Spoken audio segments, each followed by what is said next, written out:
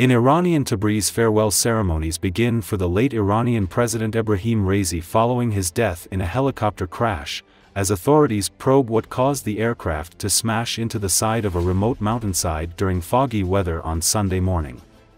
Recall, Raisi's death alongside other high-ranking officials, including the country's foreign minister, has left the Islamic Republic's hardline establishment facing an uncertain future as it navigates rising regional tensions and domestic discontent.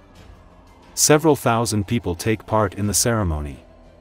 As can be seen in the footage, the vast majority are dressed in mourning colors. It is noted that the funeral will take place in other cities of Iran.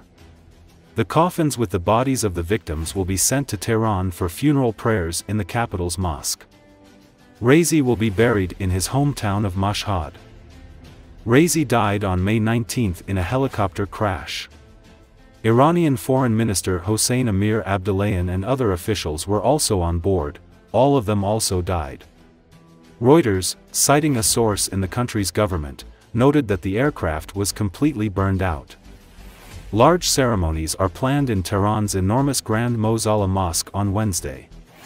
The loss of Raisi, a conservative hardliner and protege Ayatollah Khamenei, is expected to sow further uncertainty in a country already buckling under significant economic and political strain, with tensions with nearby Israel at a dangerous high.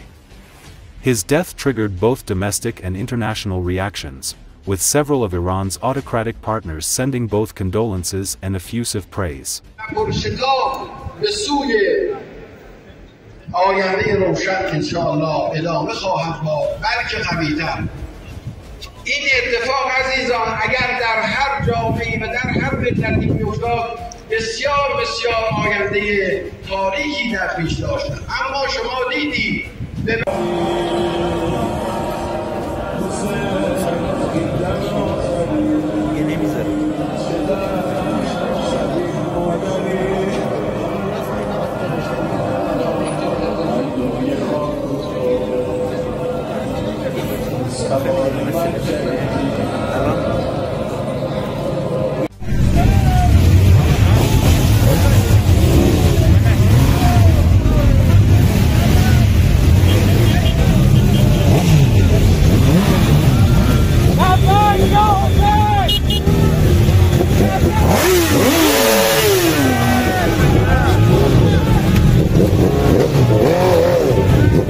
Poršekov, Vesulje, آینده روشن انشاءالله ادامه خواهد با بلکه قویتر.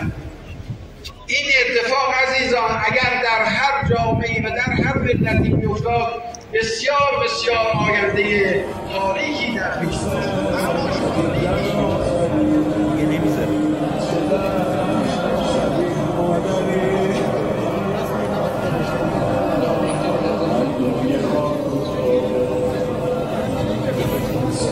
말씀해 주시고요.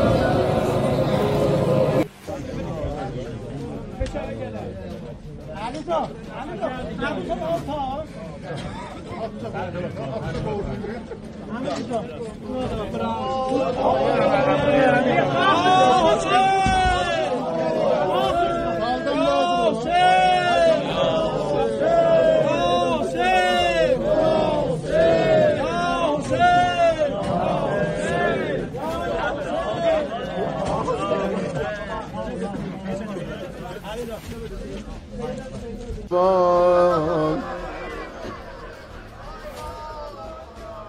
چون اینو خود آقای حضرت آیت الله رئیسی رو خیلی دوست داشتن من میخونمش. همه بخونم باید رفت.